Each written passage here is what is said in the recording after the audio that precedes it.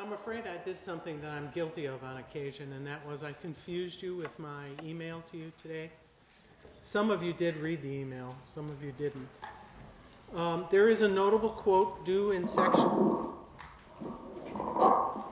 in section this week, and I want you to disregard my email. That's the first and only time I will tell you that. Disregard my email. The notable quote should be on two of the three readings due this week. There's one that's um, on the internet, and another, and two of them in the um, in the reader. Okay. You pick. And are the ones from the internet, is that, is that not, those not included? How about just the ones in the reader? Just the two in the reader. The one on the internet is really just meant to be um, informational.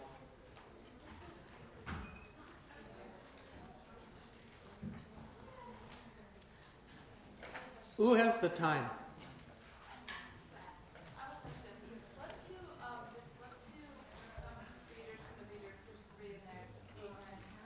One is on the internet, and two are there are two articles in the reader.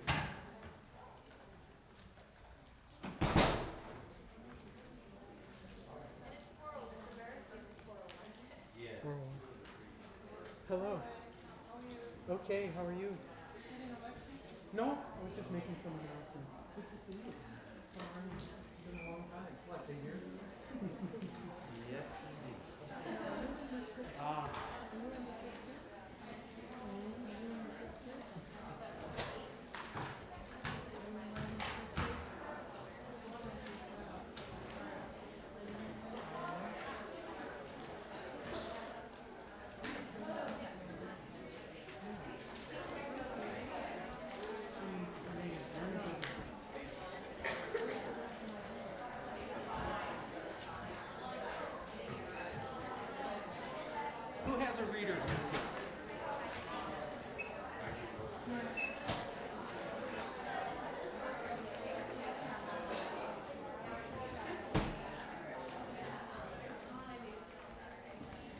Okay, just to clarify, reader 9 and reader 10. Better? You're welcome. Reader 9 is the Armenian Genocide Context and Legacy.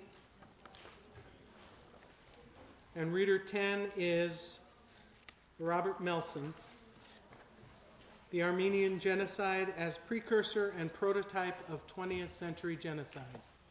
And what's meant by that title is that if we look at the Armenian Genocide, we might very well, in fact, we are able to understand about uh, 20th century genocide. Hello, I'm Stephan Astourian. Myrna Goodman. Nice, Nice to meet you. Stephan. Why don't you uh, I am my get yourself comfortable? Yeah, yeah I, don't, Okay. I don't think I needed this here. You know, it's colder where I am. Right, over in Berkeley. Yeah. I'll introduce you. Let me write a few things on the uh, backbone. That's fine. Um, Christine has uh, uh, two maps. That's great. She has um, one of them where um, um, one places are Armenian. Yeah, Eastern Anatolia, Armenia, and so on. and That would be helpful so that people can locate uh, things. The JPEG?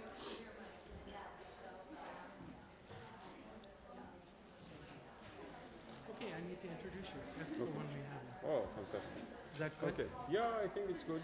Okay, so if you'll give me a chance, I'll Yeah. properly introduce you. Okay. Barry Preisler was uh, spoke very highly. of Really? you. Well, you exaggerate. you should. I'm sure he doesn't. He doesn't. Okay. Um,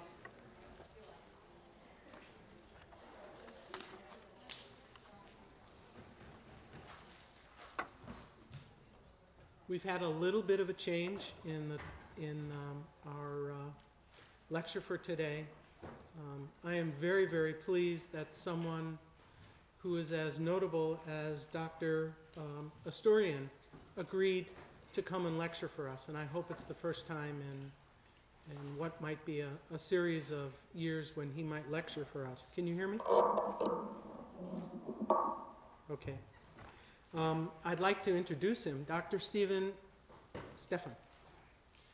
Astourian is the executive director of the Armenian Studies program at UC Berkeley. He is also the William Saroyan Adjunct Assistant Professor in Armenian and Caucasian History in the Department of History at UCB. Professor, Professor Astourian was born in France, where he went through the rigorous training of elite preparatory classes uh, and eventually, um, through examination, received his um, BA from the Sorbonne at the University of Paris. Uh, he then pursued his graduate studies there and eventually earned an MA and um, the equivalent of a PhD. Um, and then his interest in the modern in modern Armenian history led him to move to UCLA, where he earned a second MA and completed his PhD in modern Armenian and Caucasian history. Um, he's the treasurer of the executive council of the Society for Armenian Studies. Uh, his publications include, or his writing includes being editor in chief of the UCLA Ju- JUSUR, the UCLA Journal of Middle Eastern Studies, and he's authored about 20 articles and essays on modern Armenia, Ottoman, Ottoman Republic, and Azerbaijani history, as well as on post Soviet Caucasian pol- politics. Big mouthful for me. Um, he has um, um, some writing that is due to forthcoming Silence, The Silence of the Land, Agrarian Relations, Ethnicity, and Power, which will appear in A Question of Genocide, 1915, Armenians and Turks at the End of the Ottoman Empire.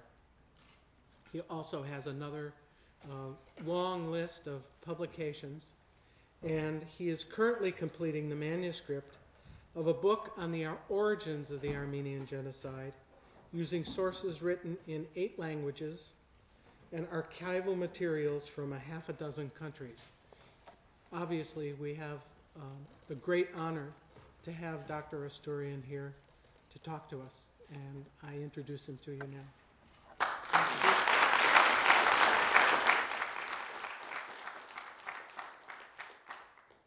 Uh, Thank you, Professor Goodman, and I am uh, pleased to be uh, giving a lecture today at the Center for Holocaust and uh, Genocide Studies. Uh, prior uh, to starting, I would like, uh, because I'm not sure whether you have a general idea of historic Armenia, the population that lived there, and so on. So maybe I should start with a kind of uh, description of what we are talking about, the region we are talking about, the type of people living there. Uh, I would like also to ask you whether, uh, especially the students, whether uh, uh, you have taken a class in uh, modern uh, Middle Eastern history. That is, when I refer to something like the Tanzimat in the Ottoman Empire, whether it makes sense to you or whether it's a total, it's a word, you know.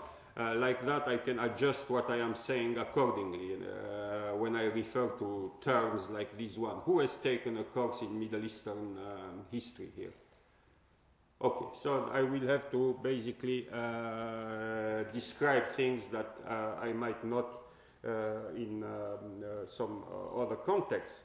Uh, that is good to know. So the region we will be talking about today is historic Armenia.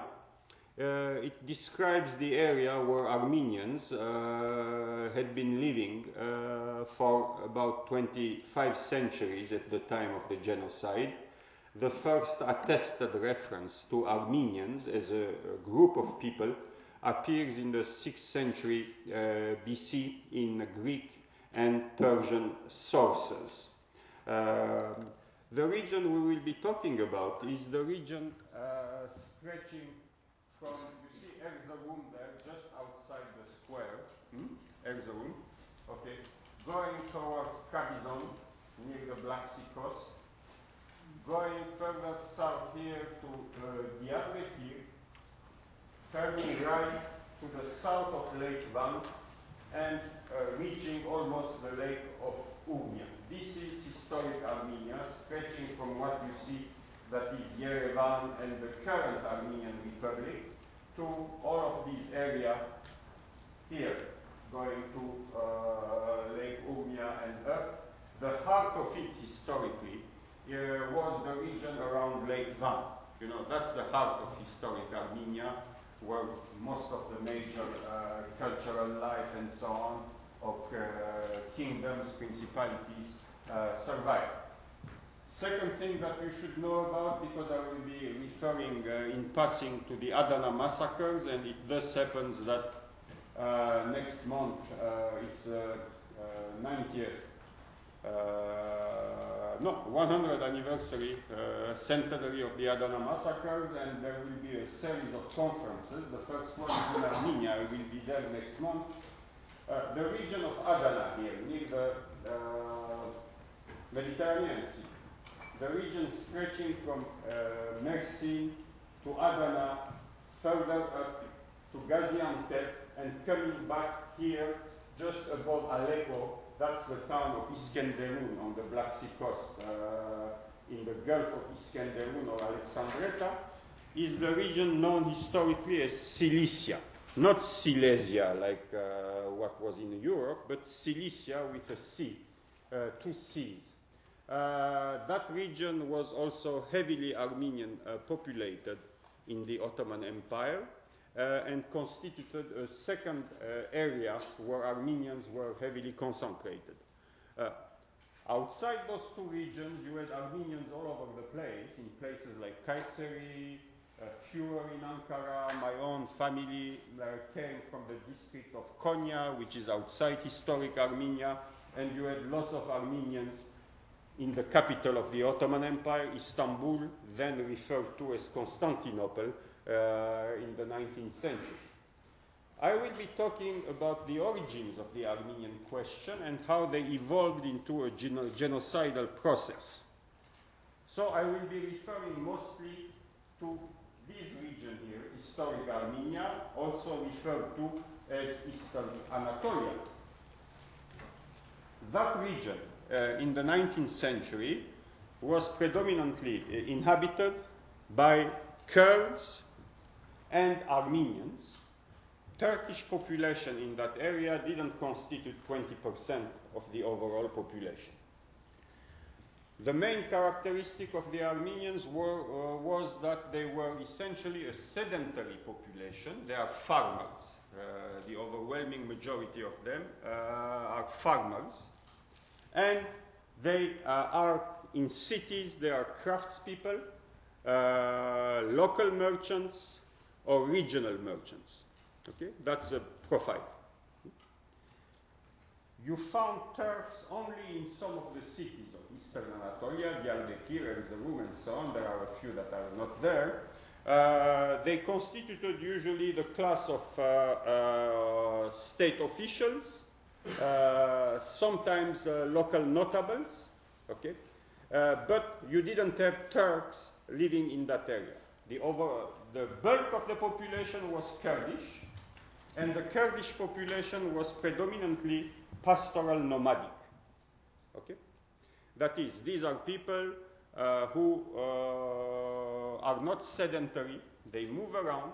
Hmm? In the spring, they start going up the hill with their uh, flocks, you know, of sheep or goats or whatever they are. Okay? Then they come back in the fall and uh, go down, and I'll tell you how uh, they live pastoral nomadic Kurds and some of the Kurds in the 19th century were uh, semi-sedentary. Some of them had, were undergoing a process of sedentarization. That is, they were uh, being uh, forcibly settled as a result of the policies of the Ottoman state. The main characteristic of the Kurdish population, then I will deal with that uh, in the course of my lecture, uh, interspersing uh, comments when I feel that I should add them to what I had to say. Now, Today's topic is the Armenian genocidal process and the Young Turks. Uh, the Young Turks took power in 1908 in the Ottoman Empire. Prior to that, for most of the period I will be talking about, we were dealing with a sultan whose name was Sultan Abdul Hamid II. Okay? Uh, he took power uh, at, the end, in, at the end of the 1870s and stayed in power up to 1909. The period preceding Sultan Abdul Hamid, stretching from 1839 to effectively 1876, even though in some textbooks you see uh, 1878, is the period known as the period of the Tanzimat. T A N Z I M A T.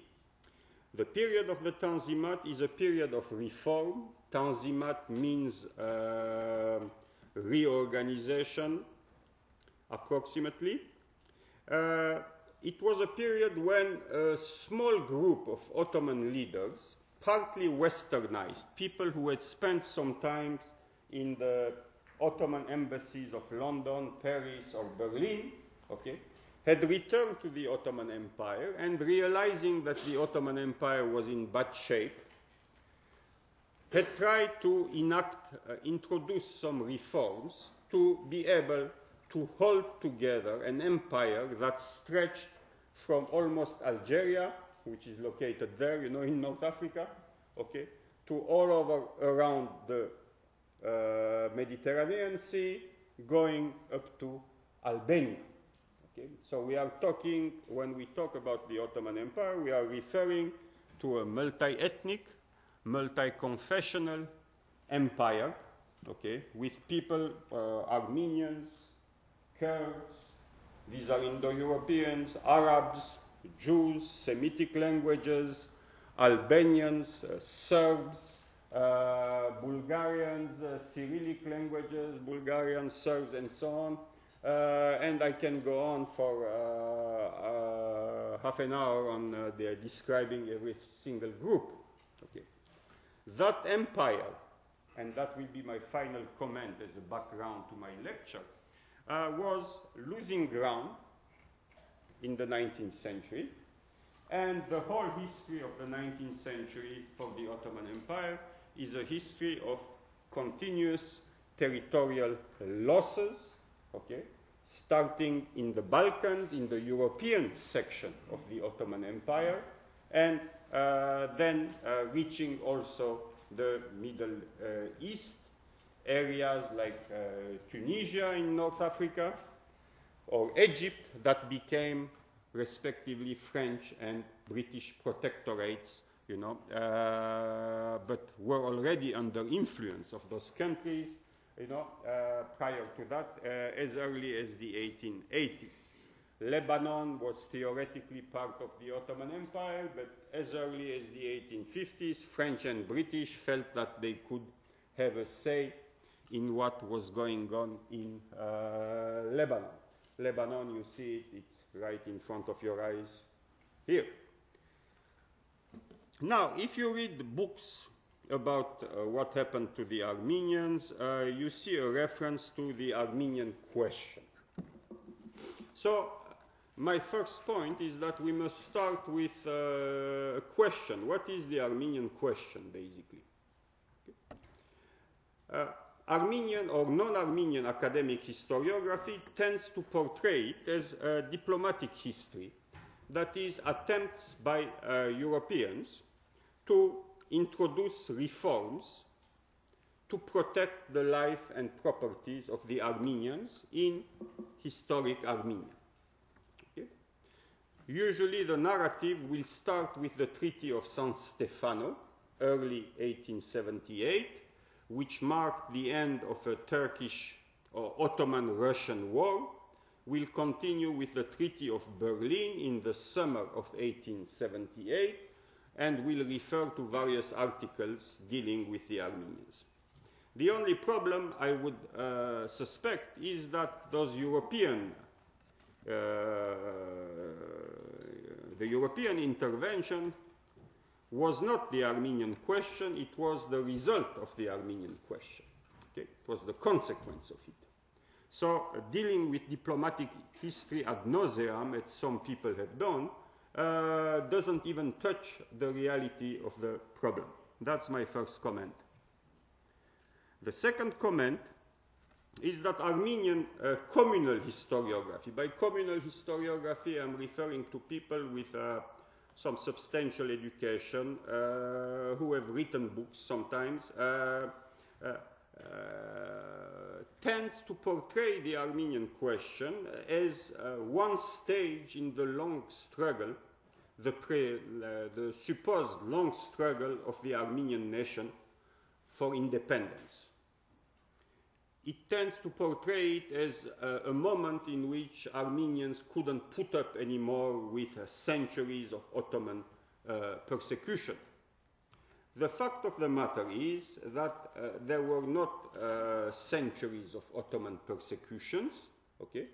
The Ottoman Empire in the 16th century or uh, yeah, 17th century was not a paradise but compared with uh, the European states existing at that time was a relatively tolerant empire in comparative terms, not in modern terms. In modern terms, it's not, but by the standards of that time, you know, compared with uh, the French kingdom, for example, where uh, they like to defenestrate Protestants or to bludgeon them to death and so on, uh, it was a tolerant uh, empire by the standards of that time. That's where I am uh, stressing the issue.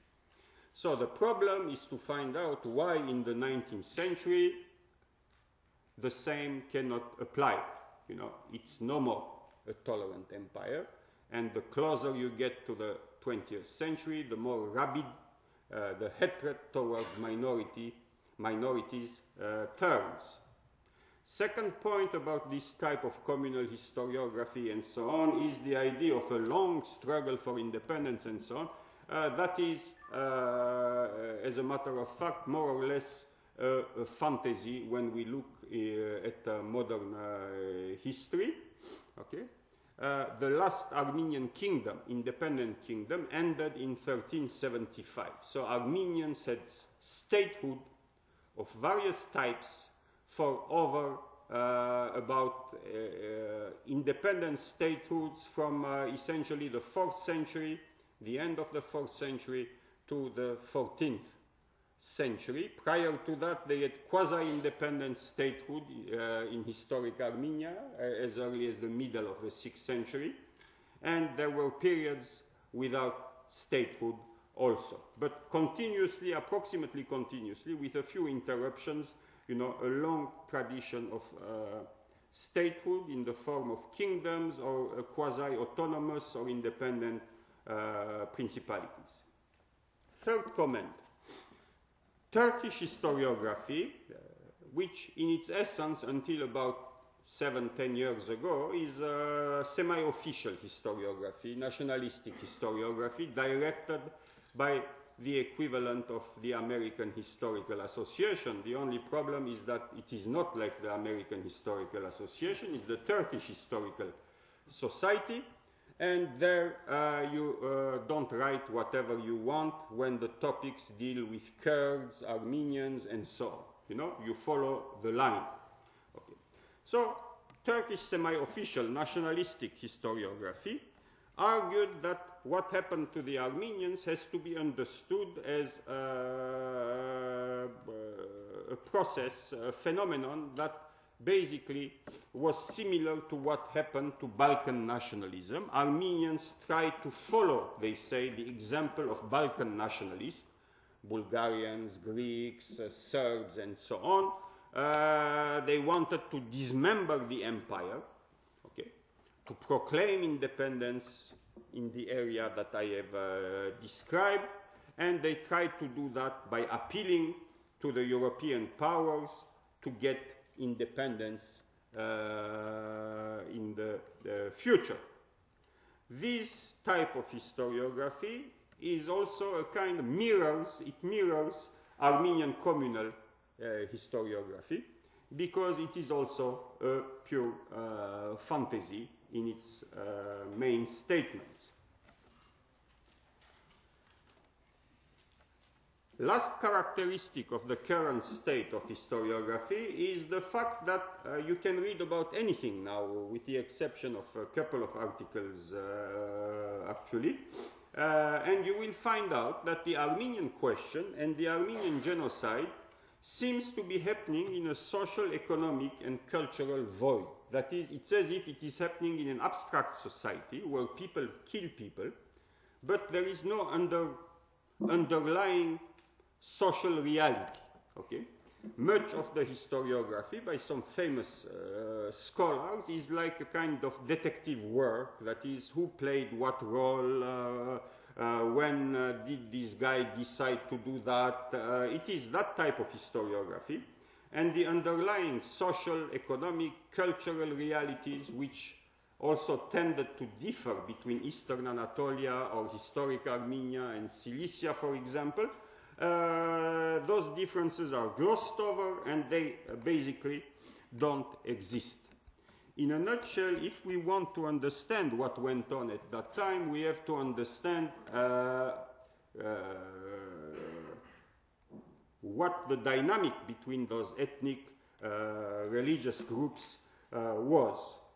We need a social, economic, cultural, polit political contextualization of the Armenian question to better understand why a group of people, the Armenians, who were known at the turn of the 19th century as the Milleti Sadaka in Ottoman, which means the loyal millet, okay, they were viewed as the good group of people, you know, reliable.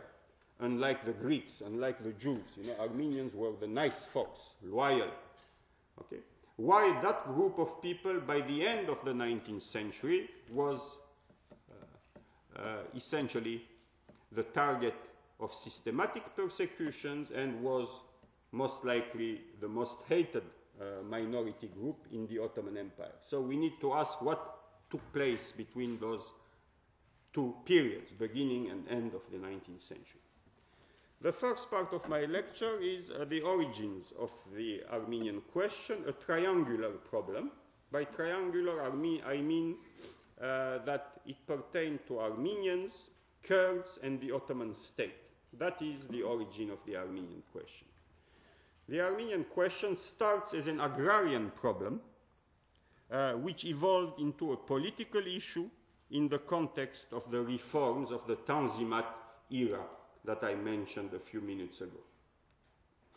You must realize that uh, in the first half of the 19th century, huge parts of the Ottoman Empire were only nominally under the control of the state. They were part of the Ottoman Empire, but effectively the Ottoman state had very little control in those areas. Okay? One of those areas was precisely historic Armenia or Eastern Anatolia. In name, the region was part of the Ottoman Empire, but effectively, Turkish officials had very little control in that region. As a matter of fact, that region had been governed for quite uh, several decades by various Kurdish emirs that is uh, lords or commanders, you know. And uh, in 1840, one particularly able emir, his name is Bedr Khan. Khan is also a title, K-H-A-N, you know, Bedr Khan, from a famous family which is referred to as the Bedr Khanid family. It has descendants up to now, by the way. Okay? This gentleman was able to take over the whole region stretching from Lake Van you see Lake Van just in the bottom of the square there, okay? Diyarbakir, parts of northern Iraq, always in the news, northern Iraq, yeah? near Mosul, and stretching to Lake Urmi.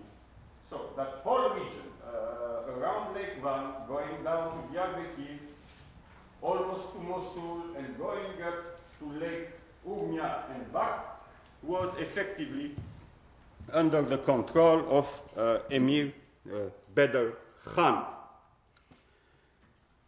It is the destruction of that emirate in 1847 under European pressure, uh, British and French, because that Bedr Khan had uh, at some point decided to massacre some local uh, Christians, non, not Armenians.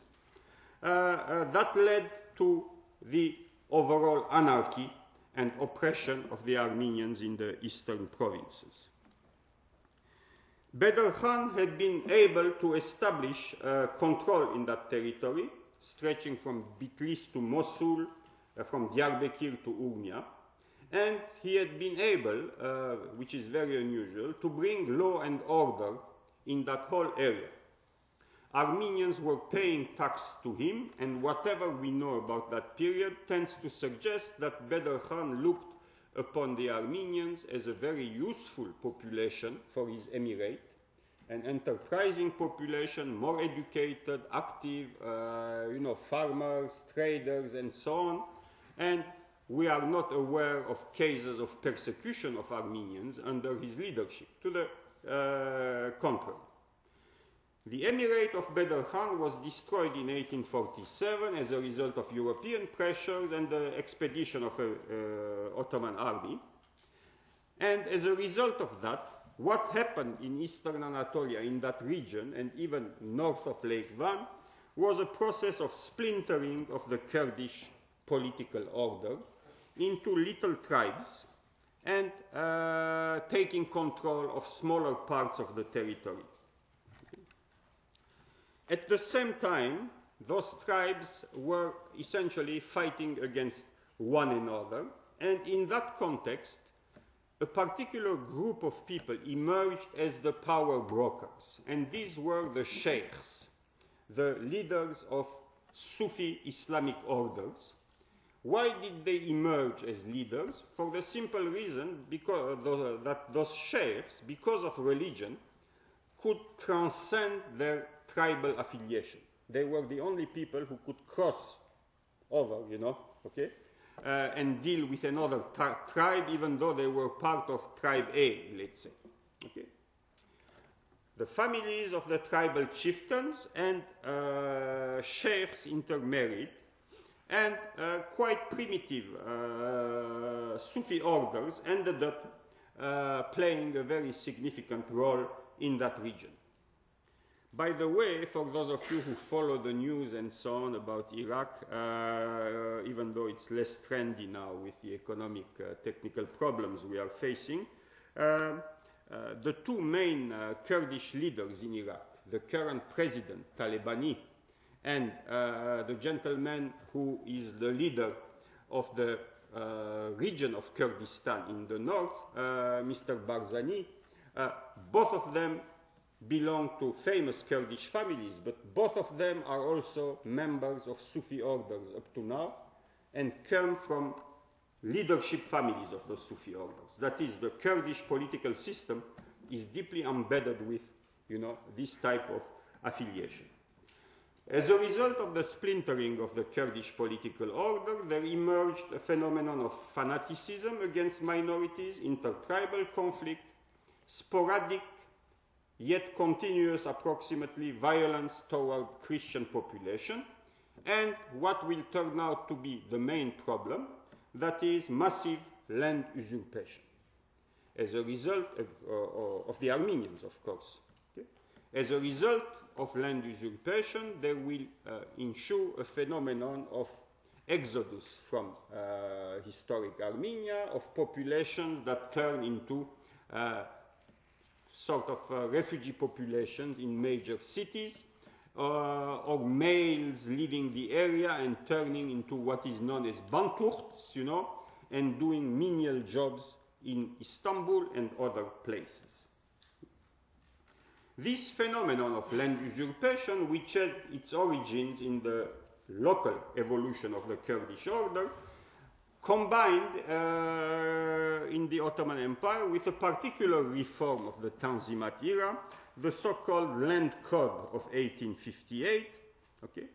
And that Land Code of 1858 is extremely complex. There are many opinions by, by, by historians about it, and its application uh, from region to region vary.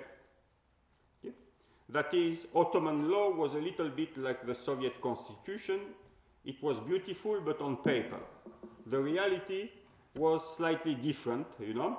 Uh, the main idea of the Land Code of 1858 is that it gave opportunity to people, basically, in the medium run, to become owners of lands that prior to that were theoretically state lands. So the usurpation of Armenian lands coincided with an opportunity of taking over, you know, uh, once and for all, what belonged to that uh, peasantry. And it, of course, intensified the process of land usurpation. Local sheikhs, Kurdish notables or chieftains, Turkish provincial notables saw a magnificent opportunity, okay, to basically take over, you know, property, drive out those minorities, all the more so since the Tanzimat reform introduced by those westernized Ottoman leaders were hated in the provinces. Hated. There was hatred towards those reforms because the main goal of the reforms was to centralize the empire. Those provincial notables, Kurdish chieftains, they didn't like that. The second goal of the reform was to promulgate equality for all Ottoman subjects, be they Muslim, Christian, or Jewish. These didn't sit well at all with uh, the people in the eastern uh, provinces, and they looked at those reforms as being essentially advantageous to minorities. And for them, it was very important to break the back of those minorities who were under their control and were powerless. The Ottoman legal system was also a particular system when you wanted to go to court and say, gee, you know, Professor Goodman just took over my home, my garden, my two dogs, and so on. Said, uh, you know, uh, you have to go to an Islamic court. And uh, let's leave aside Professor Goodman. Let's say the gentleman is Ali or Mehmet. You know, he comes with two friends, and both of them swear that that is not the case. You know, and you have lost the trial. So, in a nutshell, you have no legal recourse, you know, to solve your problems. No? Okay. That is the gist of the Armenian question, land usurpation, and also underlying it something else. You know that the concept of property, okay, anything can be your property. This might be my property. But within the idea of property, there is the idea of rights. Okay. So we are not basically talking about land here or houses and so on. There is the fact that in the Ottoman Empire, minorities, when push came to shove, didn't have rights. No, you are deprived of rights.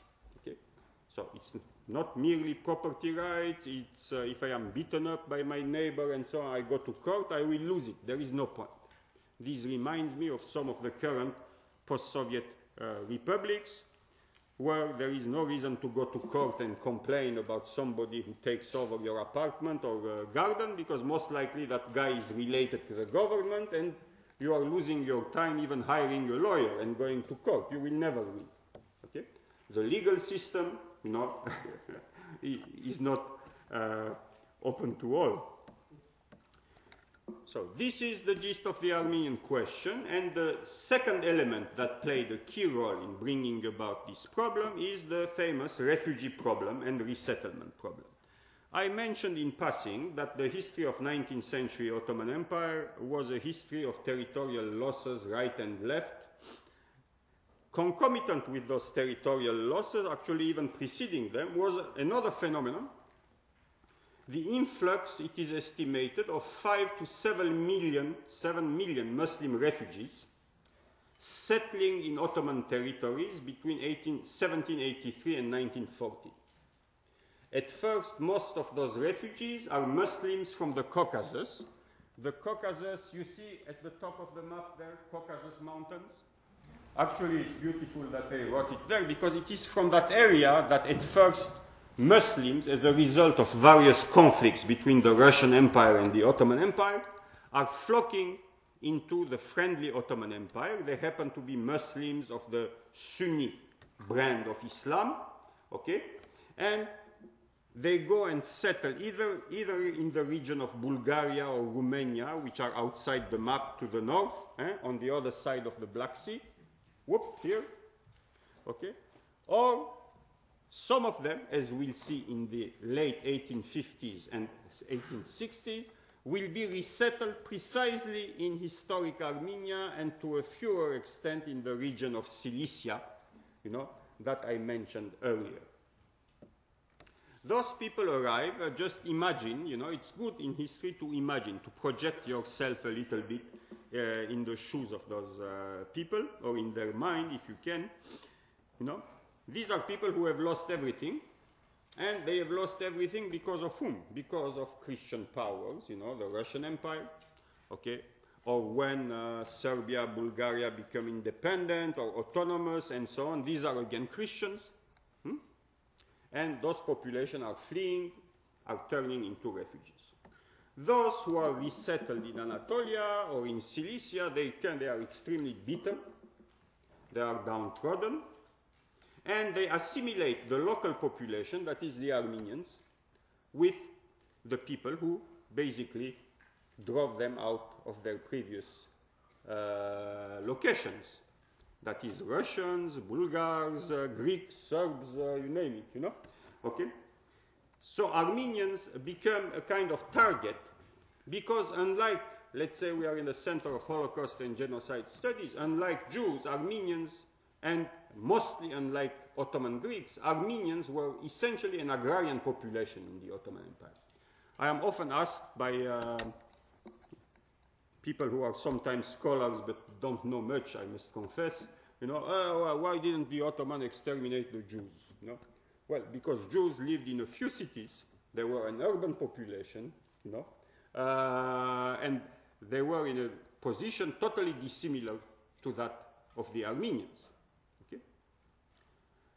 Actually, in 1915, in the region of Syria, you know, and Lebanon, Jews were persecuted, but for political reason, it is not good to mention that these days, and uh, there is a totally different narrative about Ottoman-Jewish relations. Uh, so the arrival of those refugees added to the competition for scarce resources and the resentment towards Christian population increased the intensity of violence towards the Armenians.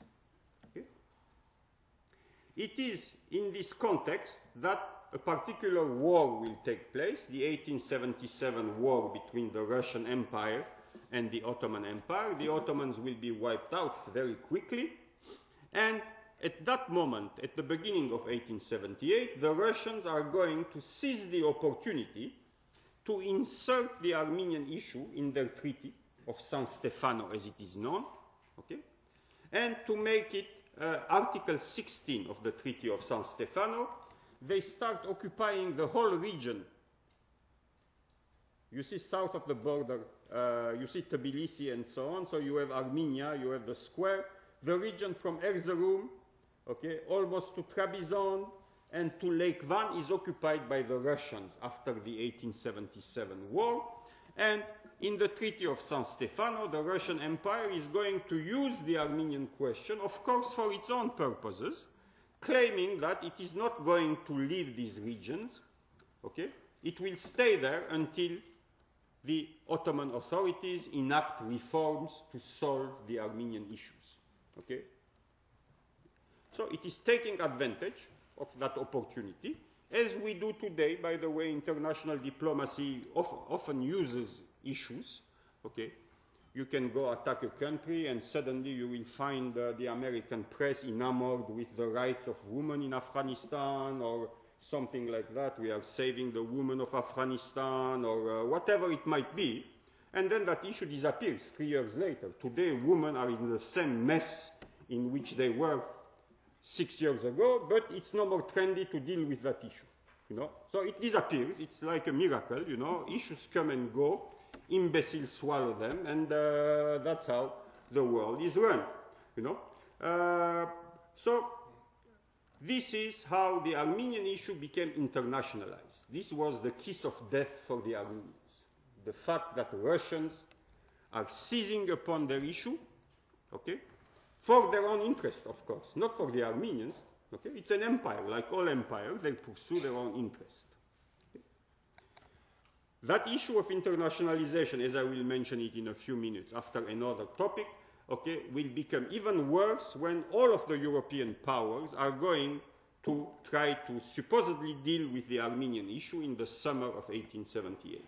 Armenians will suddenly turn into a fifth column, a group of internal enemies collaborating with the Europeans, okay? Those very same Europeans who have done their best since Greek independence in 1830 to dismantle the rest of the European possessions of the Ottoman Empire. Beyond the refugee problem, which was the second key factor, I have finished, I'm done with that, you have the third factor is the rejection of equality of the Tanzimat reforms. I have mentioned that in passing, and in particular of the decree of 1856, known as the Hati Humayun, the imperial rescript, promulgating equality of all Ottoman subjects, be they Armenian, as I said, uh, Christian, uh, Jewish, uh, Muslims, and so on. This was intolerable for a population that was overwhelmingly Sunni Muslim and that was already experiencing uh, the, a process of decay. That is, for the first time, realizing that their empire, which they thought was the most powerful power in the world, that's how they grew up, you know, okay, was now losing ground hmm, to the Europeans, and suddenly you fall, you know, you realize you are no more what you used to be. Hmm? As a result of that phenomenon, the general attitude towards Armenians worsened, and it is only at the end of the 1860s that the main body governing Armenians in the Ottoman Empire, it was your religious establishment that represented your community. So if you were a Jewish Ottoman, it was the Grand Rabbi of Istanbul or Constantinople at that time that was the official representative and go-between with the Jewish community. If you were Armenian, it was the Patriarch of Istanbul. If you were Greek, it was the Greek Patriarch of Istanbul. The Patriarch of Istanbul, Armenian one, around him had various bodies, you know, a civil council, a religious council, and these people had been living in total ignorance of what was going on in the historic heartland of the Armenians. It is only at the end of the 1860s, uh, as a result of various processes that I, won't, uh, I don't need to mention here, that the realities of the eastern provinces suddenly, you know, reach Constantinople and the leadership of the Armenians. The Patriarchate organizes a commission, a committee, that basically organized a, a kind of a, a lengthy report detailing all the cases of violence against Armenians, land usurpation, uh, uh, killing, beating, this and that. I have the reports. Uh, the first one uh, was completed in April 1872, the second one in 18, uh, September 1876, and respectfully submitted to the Sultan asking him to take steps to remedy the situation. Those reports are a mine of information uh, because uh, they give you uh, essentially the location of the incidents. Very often, 80% of the, uh, of the cases, they give you the names of the culprits and their status. You know? Uh, so you can find out whether it's a sheikh or, uh, you know, the name, the location, the date, uh, so it's extremely precise. You know, it's not some kind of hot air of uh, three pages saying uh, 15% of Armenian lands have been usurped and so on. No, it's very specific. That is, it is very easy for the Ottoman state, you know, to corroborate the whole thing. Uh, for a social historian or economic historian, it is also a mine because you see the realities there. Okay? The first question that emerges is that why wasn't there any reaction that we know of on the part of the Ottoman authorities in the 1870s to change uh, this situation in the eastern provinces. we need some researchers to go to the Ottoman archives uh, once uh, they are uh, truly opened, because they have been opened a number of times, you know, the Ottoman empires, but the more you open them, it seems the more close they are. So it's a bizarre phenomenon. Access to them is limited to scholars uh, who fit the mold of semi uh, official historiography, uh, Turkish historiography. Uh, so there are two possibilities. Either uh, the Ottoman authorities of the 1870s, who hadn't yet adopted an anti-Armenian attitude, that will come with Sultan Abdul Hamid, the next one, you know. Either they didn't have the means to intervene or didn't find it uh, useful to do it, no, because politically it, it was a region they didn't control fully and so on, or uh, they were in favor of allowing that process of dispossession and of Armenian emigration from that area to dissolve the concentration of the Armenian population. The fourth key factor in the Armenian question is the, its internationalization, which started with uh, the Treaty of San Stefano, Article 16. Not until reforms are enacted by Ottoman authorities will we withdraw from the eastern provinces, say the Russians. Immediately, the British, the French, and so on, Austro Hungarian, are saying, gee, this is an opportunity for the Russians to pursue their goals of reaching the warm seas. You know, that's how they look at the Russians. You know, the Russians, they want to move towards the Persian Gulf or Arab Gulf. So this is another step on their part, you know, or they want to reach the Mediterranean. So the British especially are incensed and with the uh, intermediary being Bismarck, the Chancellor of uh, Germany, they organize a conference in Berlin, in Germany, what became Germany, uh, in the summer of 1878, and there comes a Treaty of Berlin, putting now responsibility for the enactment of Armenian reforms on all of the European powers. And suddenly, Article 16 of the Treaty of San Stefano becomes Article 61 in the Treaty of Berlin. And as a British Duke put it, what was uh, everybody's responsibility was now nobody's responsibility. So the trick is that whereas in the Treaty of San Stefano, the Russians could decide and had a means of putting pressure on the Ottomans, assuming they wanted to do it, okay, now the responsibility to solve the Armenian issue was dissolved, okay, and uh, effectively this was again the second kiss of death for the Armenians because the Sultan who took power at that time, Sultan Abdul Hamid II, uh, I have just finished a lengthy piece on uh, him uh, based on his memoranda and other things, uh, people who worked for him. Uh, well, not, not merely was he a paranoid person, but he was also radically anti-Western, uh, radically anti-Tanzimat reforms of equality, totally in favor of reasserting Islamic superiority. And he looked at that treaty as being, you know, one more step by the Europeans to dismantle the Ottoman Empire. That is, once Abdul Hamid seizes power, effectively 1877, you know, he dissolves the parliament, gets rid of the Grand Vizier, and so on. Uh, this gentleman has no intention whatsoever to solve any Armenian problem. To the contrary, he wants to drive the Armenians out of the eastern provinces, to dissolve their presence there, and to relocate there as many refugees as he can put his hands on.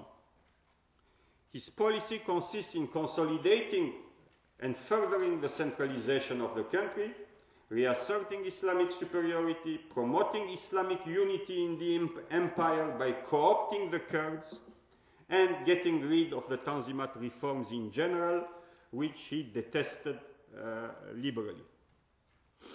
To consolidate centralization, he needed to control the provincial notables and the tribal leaders, and he did it actually masterfully. He brought about a rapprochement between state officials and the urban notables by turning them both against Armenians. From 1891 on, he co opted Sunni Kurdish tribes because there were other groups, not merely Sunni uh, Muslims. He organized them into light cavalry regiments named after himself, Hamidiyeh, uh, with much pomp. He turned them against the Armenian population, but also potentially against those urban notables who would resist him. Okay? The third goal of the Hamidiyeh was to be like the Russian Cossacks, Cossack regiments, and to patrol the Russian Ottoman border. These were the goals of that, uh, that group. Okay?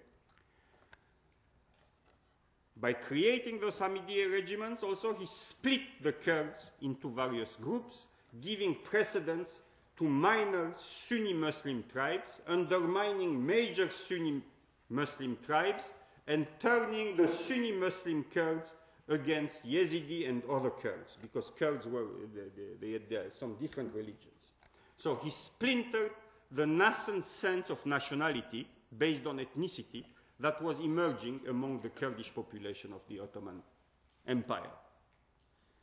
In 1895-96, after specific massacres in a region uh, known as Sassoon in 1894, the Europeans started agitating themselves again.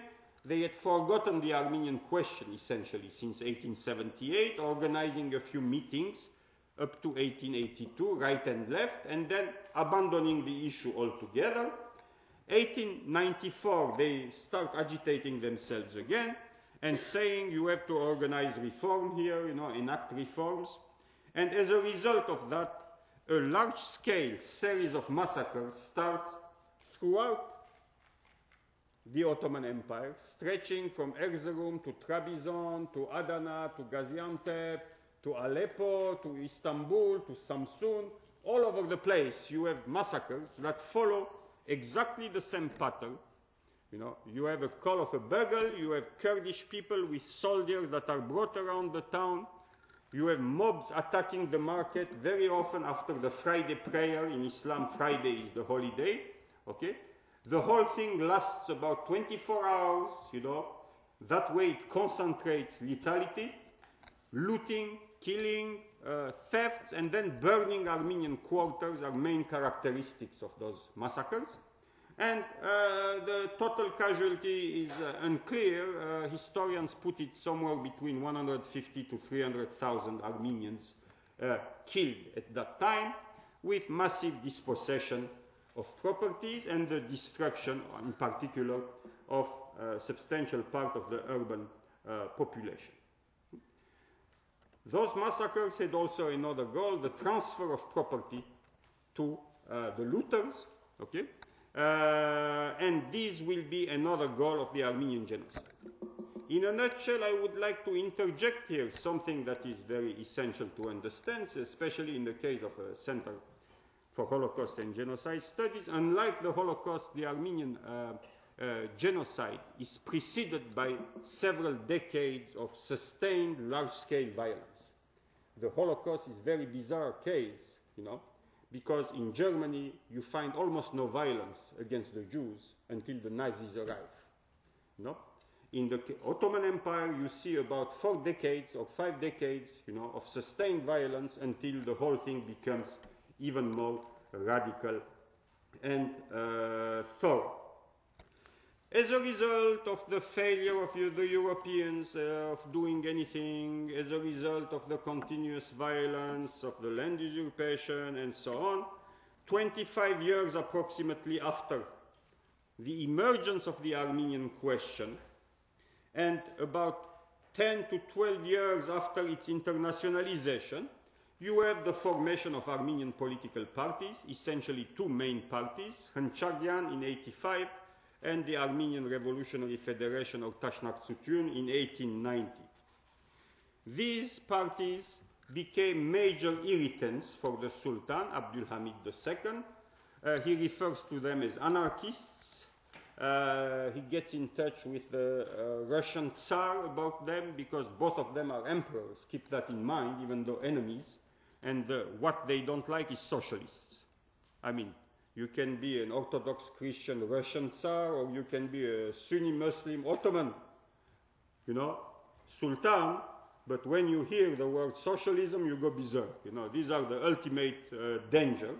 So they are referred to as socialists, and indeed both organizations, especially the Hunchakians, were uh, hardline Marxists. The Tashnaks, uh, Tashnak were uh, mild socialists overall, even though some of them were more socialist than others, but it was a mixture, but with a socialist agenda and uh, phraseology. Okay?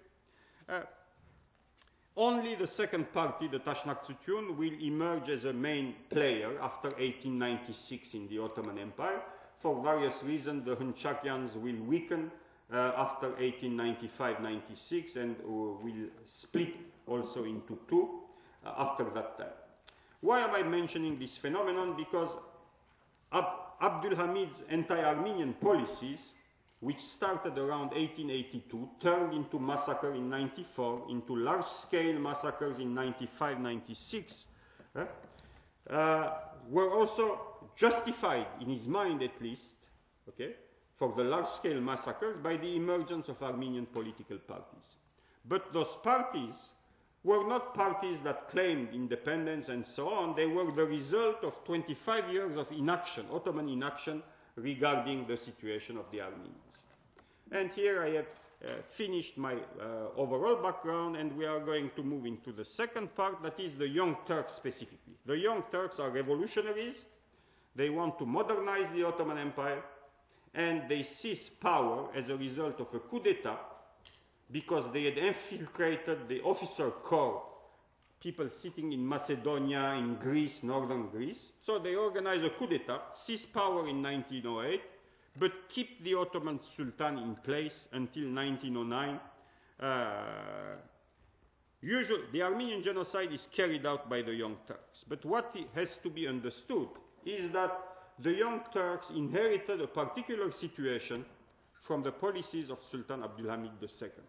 They didn't create the situation, they inherited it. Okay? The Young Turks is a generic term what we are referring to is a particular par party known as the Committee of Union and Progress. That was the ruling party. Okay? That party was faced with a particular problem. It had no solid presence in the eastern provinces and it wanted to co opt those same notables and Kurdish leaders that had been co opted by Sultan Abdulhamid II. In a nutshell, those young Turks had very little incentives of enacting any reforms regarding the Armenian question, even though they were on extremely friendly terms with the leading Armenian political party, the, the the Armenian Revolutionary Federation. Those young Turks also were a kind of fascinating double faced bunch, their top leadership. There are studies uh, by a brilliant uh, Turkish scholar teaching at Princeton. His name is uh, Shukri Hanioğlu. He has published two volumes on the, the, Young Turks from their origins to 1908. He doesn't want to go on because then he would have to deal with uh, massacres, and uh, I invited him to Berkeley. He was a bit uh, reluctant to write the third volume. Uh, but what he has revealed in those two first volumes is uh, remarkable because he has access to the private writings of those leaders. As early as 1904 or 5, that is, before coming to power, the top Young Turk leaders have been, I would say, uh, shaped by European positivism. They are unbelievers. They don't give a penny about Islam or any religion, which they look as instruments to poison imbecile, stupid masses. So they associate religion with, you know, the opium of the people. Okay, that's, that's good for the peasants and so on. They are stupid, but, you know, these are people who believe in changing society by force through their own will. And these are people now who have been exposed to those ideas that were very trendy at the end of the 19th century in Europe, because many of them, Dr. Nazım, Dr. Behaeddin Shakir, have been educated in Europe. These are doctors. And they have been exposed to the idea of race and racism. And they have come up with the idea that there is a Turkish race and that the main plight of the Ottoman Empire is that, you know, you have all kinds of people, and because of Islam, there hasn't come about a real ruling class, ethnically homogeneous ruling class. They say the Tanzimat has failed, Sultan Abdul Hamid's Islamism has failed because the Arabs now they are growing restless also. The Kurds, they don't really like Turks even though they have collaborated with Sultan Abdulhamid. What is left is the Turkish core of the empire, they say. And those people reach power in 1908 and they are faced with further territorial losses, in particular the Balkan Wars of 1912-13, where they lose the rest of their European territories, northern Greece and so on. All that is gone, and another two million refugees flock into Anatolia. And there they see the opportunity of transforming Anatolia, which is the only area where Turkish people still constitute a solid majority. Not all over the place, but overall.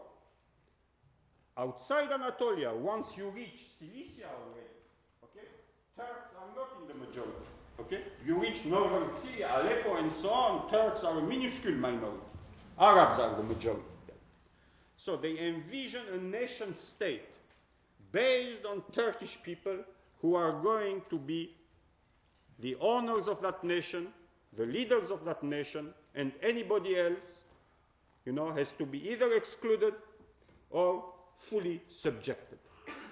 this is their ideology. It's a secretive, pyramidal organization with very few changes in its top leadership from the 1890s to their very end in 1918 when they flee the Ottoman Empire.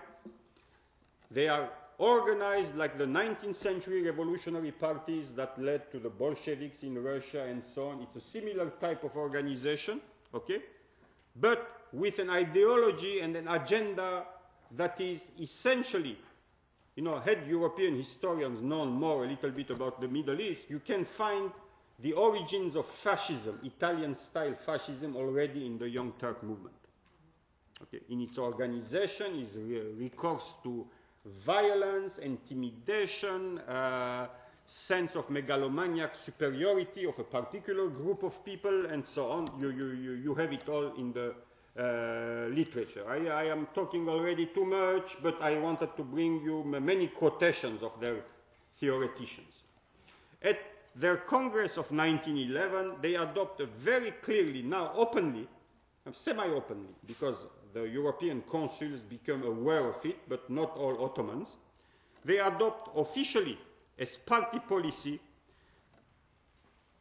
a policy of crushing minorities if need be, as a Turkish famous historian who is re referred to as the dean of the study of the Young Turk period, Hikmet Bayur, put it, the tendency to see issues of national unity and, and so on as simply problems to be solved by military force gradually became the line of the party.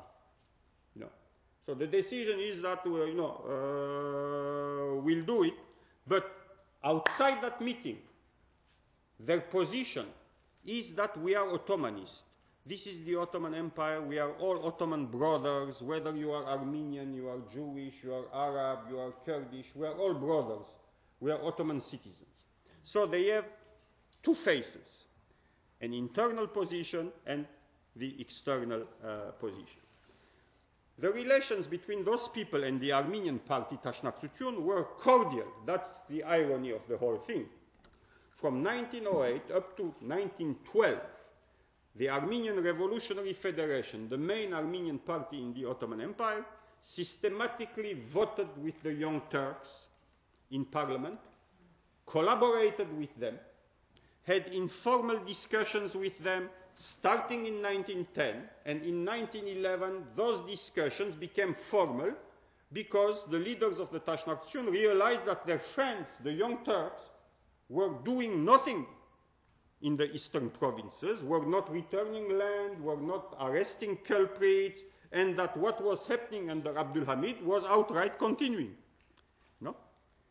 In 1909, indeed, I mentioned it in passing, a massive wave of massacre takes place in the region of Adana here, stretching from Adana to Hajan, Gaziantep. Hajan is not on the map. Okay? About 20, 25,000 Armenians are killed in particular circumstances, and the Young Turks do nothing to arrest the culprits. Actually, they nominate the main guy responsible for them as the head of the Relief Commission to, uh, his name is Baghdad Le, uh, to uh, take care of the victims of the massacres. Despite that event, the Armenian Revolutionary Federation continues its friendship with the Young Turks and gets involved in negotiations, and it is only in 1912, in August of 1912, that realizing that nothing was coming out of those negotiations, the Tashnaktsutyun finally adopts a position of neutrality in parliament, and along with the Armenian Patriarchate of Constantinople and the Armenian Patriarch and the Armenian Catholicos of Echmiadzin in Russia then, you know, near Yerevan, okay, you have there the head of the Armenian church is near Yerevan in a place known as Echmiadzin, so the Patriarchate of Constantinople, the Catholicos of Yerevan, the Tashnaktsutyun decide that there is no solution, the Young Turks are doing nothing, to the contrary, the Adana culprits, you know, they are doing just fine. Armenians are leaving the eastern provinces, many of them are even going to America, those who have money and so on. And prodded by the Russians, you know, they try to internationalize the problem, the Armenian problem again, to put pressure on the Young Turks to enact reforms. The Russians, whose agenda it was precisely to do that, take advantage of those distraught Armenians and knock at the door of the Austro-Hungarians, the French, the British, the Germans, and so on. And for two years almost, a year and a half, you have negotiations among those powers which in February 1914 leads to the conclusion of a treaty known as the Reform Act, whereby that Reform Act is thrust upon the Ottoman authorities, the Young Turks. It's not that they are delighted with it. The European powers agree for the first time since 1878 that something has to be done, and they decide that two inspector generals, Europeans, one Norwegian, one Dutch, are going to be sent to the eastern provinces. The word Armenia is not used in that document. Those eastern provinces are going to be divided into two areas, each one with an inspector general. That guy will have full rights to enact reforms and, in particular, will create mixed gendarmeries with Armenians and Turks and personally will supervise the restitution of land and the arrest of the culprits in case of assassinations and various other things. No sooner had that act finally been concluded and the inspector generals had reached one of them is Istanbul, the other one was getting close to the eastern provinces, Then the First World War starts in the summer of 1914 and the leadership of the Young Turks signs a treaty with the Germans sides with the Germans against the Entente powers, the British, the French, and the Russians. Okay? And hopefully, in order to be helpful, you have to realize that most genocides take place in time of war. That is, war is, looks as if it is one of the most opportune uh, circumstances to carry out a genocide. Almost all of them you know, none of them is taking place in a, when everything is fine and somebody decides, gee, what about massacring my neighbors here, you know?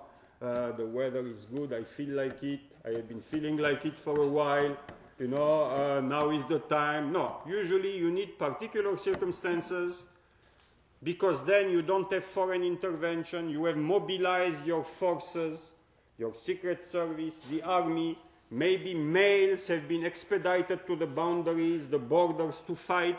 You have a population that is already emasculated with Armenian males in the Ottoman army, you know. So it's very easy to take care of the business. Okay? The second thing that very often is typical of genocides is that they take place in, at the very least, authoritarian, if not totalitarian regimes. The Ottoman, the Young Turk regime, after the coup d'etat of January 1913, they were dislodged from government for about seven, eight months in 1912, at the end of 1912.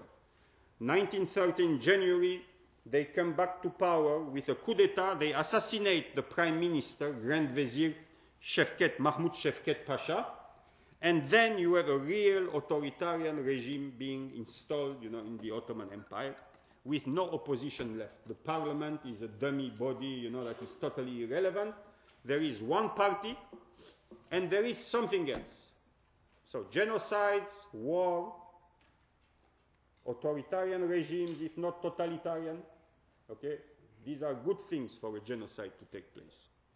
The third thing that is very good, okay, is uh, something that I have just forgotten, I think.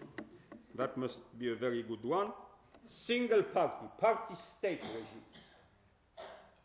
Okay? Party state. The Ottoman Empire had a government in 1914, 1915, when the genocide was decided and started being carried out. But the real decision making for all important matters was taking place in the Central Committee of the Committee of Union and Progress in the party. The Grand Vizier, the Prime Minister of the Ottoman Empire, was not fully aware of the secret treaty signed by Enver Pasha with the Germans, leading to the Ottoman Empire joining Germany in the First World War. Can you imagine that? I mean, the Prime Minister is not fully aware of what's going on. The Prime Minister, again, okay, was not fully aware of the decision to exterminate Armenians. That decision was taken by the uh, Central Committee, but you see there is overlapping between the Central Committee and the government.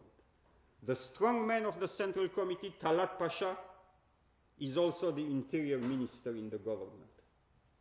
The second strong man, Enver Pasha, is the defense minister. Okay? In addition to being a top general of an army, you know? Uh, okay? So it's not that they are totally separate in the central committee. You have individuals who are sitting in both. But the real body deciding things, like in the Soviet Union, it's not the government of the Soviet Union, you know, it's a Politburo. And at times, in Stalin's time, it's Stalin overall. You know? And maybe one or two of his buddies. It's not even the whole of the Politburo. Okay? So this is the type of regime, uh, the type of circumstances that seems to be conducive to uh, the planning of a genocide, envisioning a genocide, an ideology of exclusion.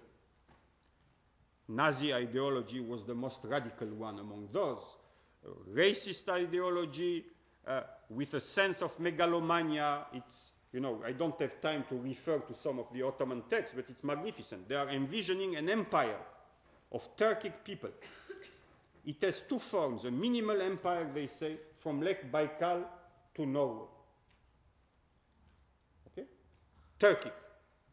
A maximum empire which will stretch from the Sea of Japan okay, to the Baltics. So these are the two versions of the empire they are envisioning. And it has to be Turkic and it will be led, they say, by a Sahib Karan. This was the title given to Timur Lenk in the 14th century, the Lord of the Conjunction of the Stars. That's what it means in classical Ottoman. Okay? That is by a supreme leader. It's going to be led by a supreme leader, charismatic, supreme leader who will be a military leader. The idea was Enver Pasha. Okay? Uniting all the Turkic people of that area. Combined with that, you have the bitter resentment against the Europeans who are portrayed as a bunch of losers, you know, that need to be crushed, put in their place. The hatred, you know, because for 150 years they have lost ground and ground, you know, and now is the time to show them what we can do. Okay? So, ideology, war, particular type of political organization, especially party state type of places, and overall authoritarian, totalitarian regime. These are key components, you know, of most uh, genocidal Uh, cases you will find. In addition to that, a second ideology emerged in after 1911 and became the main ideology in 1913. It was known as Milli Iktisad. That means in Ottoman national economy. That ideology was also borrowed from German thinkers, Friedrich List in particular. Okay? What was Milli Iktisad? The argument went thus. In order to have a nation state, it was said, you need to have a bourgeoisie, a middle class, that belongs to the dominant ethno-racial group. You cannot have a nation state, let's say Turkey, and its bourgeoisie, its middle class or upper middle class will be Armenian, Jewish, you know, and Greek. Okay? And they give you example. They tell you the, the kingdom of Poland failed in the 18th century because, you know, it didn't have Polish middle class and so on. So they go. So in addition to the national project of creating a Turkey in what is left, that is what we know now as being Turkey, the idea is that it's not enough to have that piece of land fully inhabited by Turks. You also need, in order to have a real state, you also need a Turkish middle class. Unfortunately for them, in 1914 there is a state survey which shows that Turks barely control 15 to 20 percent of the economy. The bulk of the economy, about 40 percent so far as I remember, is Greek, another 25 percent Armenian, some Jewish, you know, and the Turks are in nothing. Iktisad is that is the idea that you have to create a bourgeoisie that is ethnically homogeneous and belongs to the ruling racial group. And the Armenian genocide, the extermination of the Armenian genocide, the killing and driving out of the Greeks will be the opportunity through looting and transfer of property to create indeed a Turkish middle class. Let me give you one example. One of the um, billionaires of Turkey is Mr. Sabancı. He was a brilliant man. He created the Sabancı Holding, which presumably is one of the two largest companies in uh, holding, holdings in Turkey. The founder of that uh, huge uh, wealth, Mr. Sabancı, wrote his memoirs in Turkish. They were published about 15 years ago. That's when I uh, got them. I believe they might be even translated into English. In it, he mentions that his wealth started with, uh, I think it was a cotton mill or something like that, that was confiscated from Armenians in the region of Cilicia. That's how he started. He had nothing, no? Most of the people who benefited from that transfer of property failed.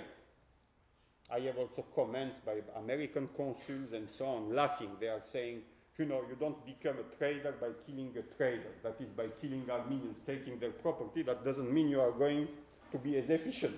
Okay? Huh? Uh, so they are laughing at those new rich, you know, new wealthy of the Ottoman Empire. Sabancı, you know, was an able man. He started with that and some land and made it into a huge holding, multi-billion dollar holding.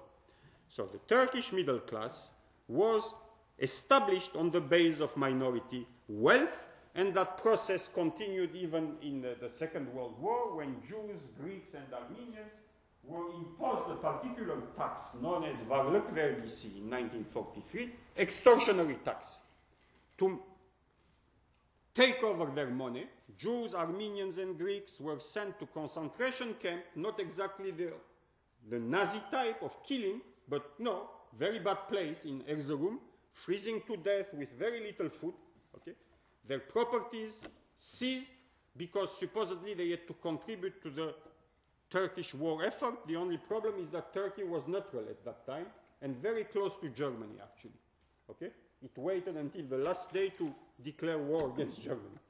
Huh? Uh, so that practice of, uh, as it is known in uh, political science, of predatory state that can turn against target groups, usually particular ethnic groups or thing, has, is something that went on and it took place again with the pogroms against the Greeks in Istanbul in 1955. And here I will cut it short. The precipitate, because I was said one hour, I think people are getting tired, I'm getting tired, everybody wants to sleep now, so, you know, I shouldn't prevent that. Sleep deprivation, you heard it, it's pretty bad, you know, they did it to some people, uh, it's no good. Uh, you know, not everybody can kill dozens of people. It takes a particular type of uh, people to enjoy killing or to watch killing.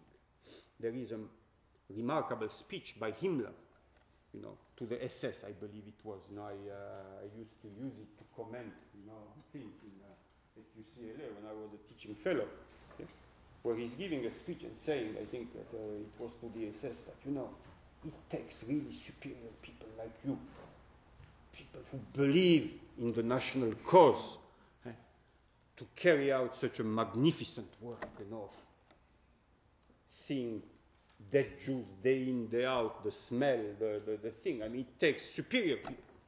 There is a pride in a job well done. In the Ottoman Empire, the type of people who were similar to the SS was a secret organization known as the Teshkilat Mahsusa. In Ottoman, it's special organization. It had a military wing, it had a paramilitary wing. The paramilitary wing was led by two members of the Central Committee of the Committee of Union and Progress, Dr. Nazım and Dr. Behaeddin Shakir. One located in Erzurum, the other one in Trabzon. These were the two centers. Okay? These are the people who carried out first the butchery around cities of young boys, 15, 14, who weren't yet in the army, you know, or older men, 45, 50, okay? And then the massive deportations of the rest of the population, okay, to the deserts of Syria and Mesopotamia, in areas where you can't survive. And we now have documents by Talat Pasha, the main uh, leader of the Young Turks, referring to some other agenda a year earlier and saying that uh, nobody can survive in that area. A year later, precisely, that's where he is sending Armenians. We have a dissertation by a young Kurdish scholar in France that shows that the whole thing, I mean, the, the intent is blatant, you know. Okay? That special organization, that type of killers, it can be the KGB in the Soviet Union for various things, it can be uh, the SSs, it can be the Teshkilati Mahsusa. You need that type of individual, you know, uh, combining a kind of fanaticism with ruthlessness. Uh, maybe in the case of the Teshkilati Mahsusa, they took killers out of jail to put them in the organization. Because uh, there was a manual dimension in the butcheries around cities, a kind of hands on approach to killing, a little bit like the Rwanda case. No? Uh, so uh, that was the organization that carried out those policies. 1914, what the Young Turk leaders do is detailed surveys of ethnic groups in the eastern Anatolia. Every single tribal group or ethnic group, Alevi, Yazidi, uh, Armenians, they have sent people to describe where they live, how many there are, what their relations are with one another. This guy is Turk, Kurdish, uh, Yazidi, the other one is Sunni, this one belongs to the tribe of Batman, the other one of something else. Okay? They have laid the foundation for a detailed knowledge of the area which they are going to Turkify and Islamize. Okay? We have now some of those things uh, uh, published. The main ideologue of the Young Turks writes a lengthy report. We still don't have the copy. We know of its existence by Turkish sources, that is, not Armenian sources. His name is Zia Gökalp. He is in charge of finding a solution to the Armenian question. He writes the report. Okay? It must be somewhere in the Ottoman archives. Inshallah, one day they will be fully opened and we'll read. The key trigger in this general context of polarization, of the influx of about 2 million Turkic people from the Balkans after the Balkan Wars of 1912 13, flocking into Istanbul on carts with uh, bags, uh, they have lost everything. Some of those people were already twice refugees prior to that. Some were from Russia, had been, had been turned into refugees in the 1860s, had ended up in Bulgaria.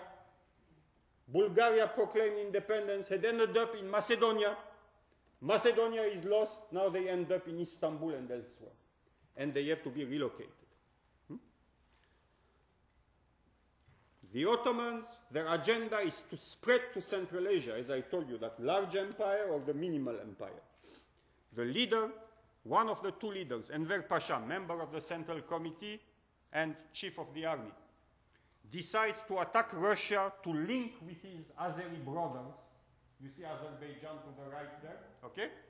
And he does it in the middle of winter, end of December 1914, and he is faced with a catastrophic defeat at the end of 1914 at Sarıkamış, where he loses about 85 87% of his troops, not to the Russians, to freezing conditions, because he has no logistics, no clothing, no nothing.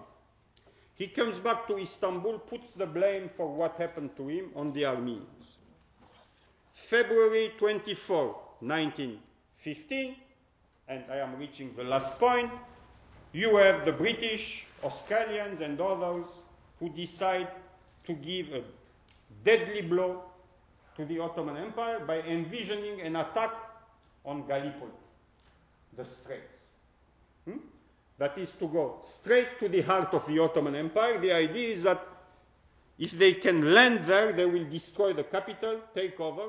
The young Turk leaders have already decided to flee to Eskişehir inland to move their capital inside. Okay? The first, the navy appears in that area on February the 25th. British boats. The decision to carry out the Armenian genocide took place in a meeting of the Central Committee. We know it on the basis of Turkish sources. We know the decision was not unanimous, but was taken by the strong men of the committee. That means Enver, Talat, Shakir, Dr. Nazım, at the very least. Okay? Uh, it was taken at a time when Behaeddin Shakir, who had started carrying out such policies, one source said, was back from eastern Anatolia. So that's the key thing for the timing. Okay. This means it was at the end of February 1915 or early March 1915 that a definitive, clear meeting took place deciding the enactment of the Armenian genocide. That is, here, if I draw a parallel with the Holocaust, where up to now we don't have one document showing a clear, you know, order that today, uh, let's say uh, June 26, 1941, or December 22nd, 1941, or whatever, you know, uh, we are deciding we are going to carry out the final solution. By these, are, we mean the Ausrottung of all Jews and so on. We're going to get rid of them uh, once and forever, wherever we are. No, we don't have one single document. There, there is more and more historians, as we know. You know, there have been debates for uh, 20 years, and the general thing is like there, there is a clear progression. The more they move eastward, Poland, Russia, and so on, the more radicalization, local killing, and then systematic uh, killings with the building of the concentration camps and killing camps later on. In the case of the Armenian, in the Armenian case, we know that there is a clear meeting, and it's by a very important source. We know that, and it's ratified by an unrelated Turkish source also. Okay? Central Committee decision. The date is not absolutely clear, even though uh, I am confident we'll find it. It's end of February 1915 or early March 1915. And after that, the implementation is carried out in Cilicia around Zeytun at the end of March 1915. So it's consistent with what we see. And then it spreads to Istanbul with the arrest of all the Armenian elite in April the 24th. This is the context of the Armenian genocide is part of the birth certificate of the modern Turkish Republic. That's the argument.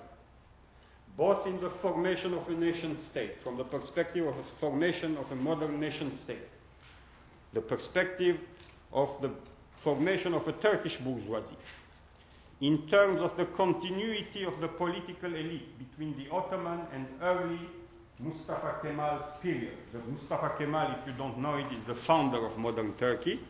He has the title of Atatürk, father of the Turks. There are two Dutch studies by a remarkable professor, Erik Zürcher, no?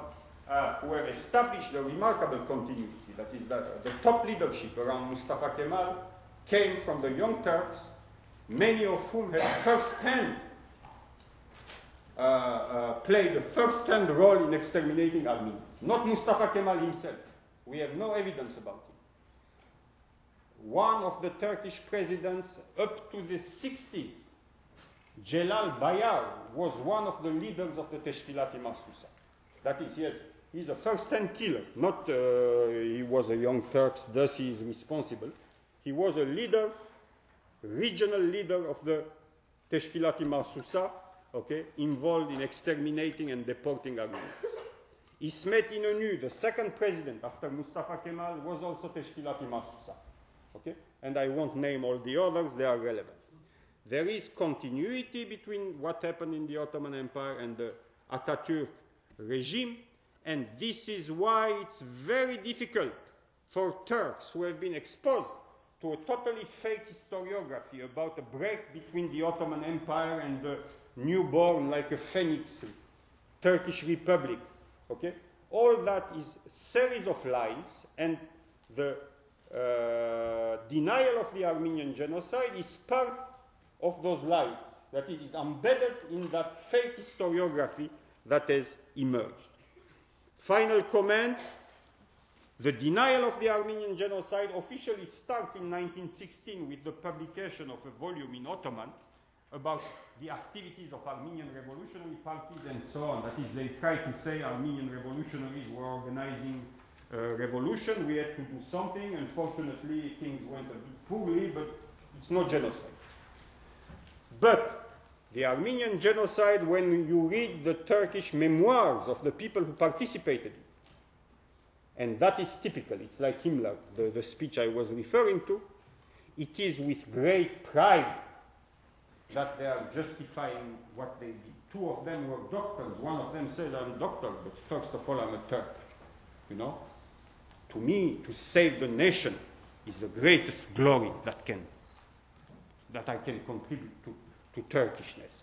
Uh, that is, in the very early period, until the early 1920s, these people, the events were not only widely known, but the people who had carried out those events were very proud, proud of what they had done. It was a badge of honor for them.